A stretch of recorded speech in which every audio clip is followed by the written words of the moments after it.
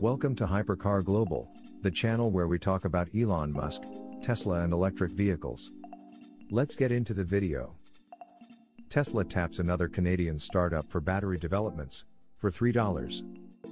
Tesla has once again tapped another Canadian battery startup in efforts to develop and manufacture high quality, dependable, and long lasting electric vehicle batteries. Documents of the transaction suggest Tesla acquired three separate patent applications from Canada's Spring Power International for only $3. Tesla reportedly purchased several patent applications from Spring Power International, a small, Canadian company that was established in 2010. The company's website has gone nearly blank after the reports, only giving information to those who inquire through Spring Power's email. Interestingly, Tesla purchased the patents just two weeks before the Battery Day event that was held in September 2020, TechCrunch reports. The site found the patent transaction records, which show that Tesla purchased several applications for a total of $3. The document states, therefore, for $3 in good and valuable consideration, the receipt and sufficiency of which is hereby acknowledged, the parties agree as follows. The preceding words outline the transfer of patents from Spring Power International Incorporated to Tesla Incorporated.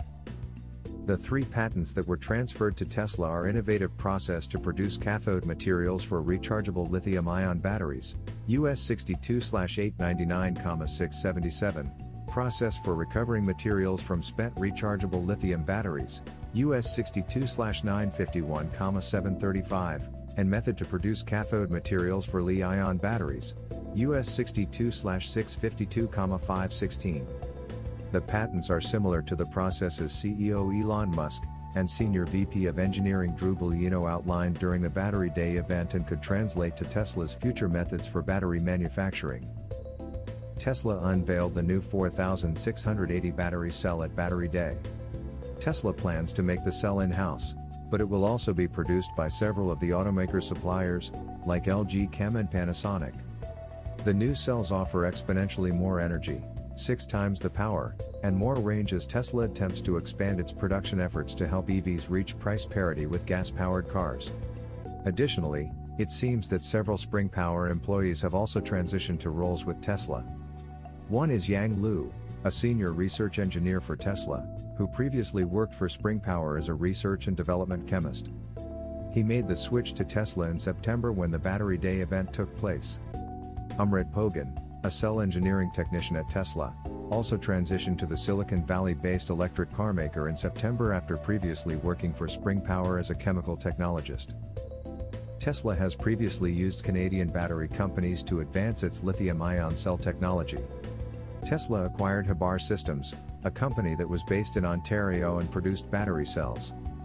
The acquisition of Hibar by Tesla followed the automaker's purchase of Maxwell Technologies, a California-based producer of ultracapacitors and batteries, in May 2019.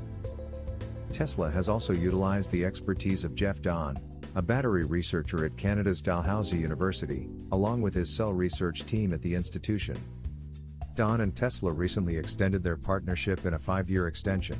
Tesla is the largest consumer of lithium for EV batteries, Tesla was the largest electric car manufacturer in 2020, which directly translates to the level of consumption of key elements for batteries, like lithium, especially that Tesla's EV batteries are usually 50 to 100 kilowatt hours per pack.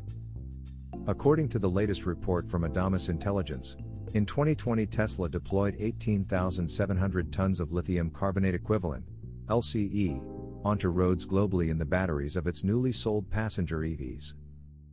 The company estimates that it's more than the next four brands BYD, VW, Renault, and Audi combined.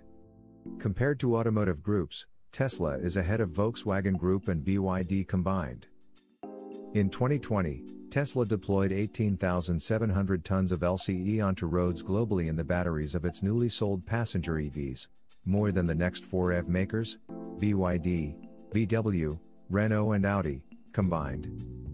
At the group level, rather than make, Tesla consumed more lithium than the next two groups combined, namely Volkswagen and BYD, respectively. Tesla LCE usage, in EVs, by models. Model 3, 67%. Model Y, 17%. Model SX, 16%. By region it's Americas, 47%. Asia Pacific, 34%. Europe, 19%. Elsewhere, less than 1%. In terms of lithium origins, by Q3 2020 Tesla was using batteries produced solely from lithium hydroxide. But since Q4 a noticeable part, CATL's LFP batteries, is from lithium carbonate. Those are the two most common lithium forms used in battery production. Through the first three quarters of 2020, 100% of Tesla's lithium consumption was in the form of lithium hydroxide. However, with the release of the made in China Model 3 standard range powered by LFP cells from CATL in the fourth quarter of 2020, this share dropped to 84%, according to Adamas Intelligence data. Tesla Energy Director believes Australia can become a large supplier of lithium. Tesla Energy Director Mark Twidell believes Australia is well positioned to become a large supplier of lithium as demand for electric cars and large energy storage units continues to rise. Mark Twidell stood in for Tesla chairman Robyn Denholm at the South Start Entrepreneurs Conference in Adelaide recently. During the event, the Tesla executive said that Australia had a big opportunity in exporting lithium around the world. Australia has the raw materials in abundance like no other nation on earth, Twidell said at the conference. Lithium prices declined in 2020, partly due to the pandemic. At the beginning of 2021, Benchmark Mineral Intelligence stated that it expected the lithium market to come into tightness. But the speed of price increases in Q1 2021 was beyond expectation, with prices for lithium carbonate having nearly doubled in price since the beginning of the year, George Miller told the Investing News Network, INN. Furthermore, shortages and sold out order books in Q1 were a stark change from Q4 2020, where lithium chemicals were freely available to consumers at lower prices.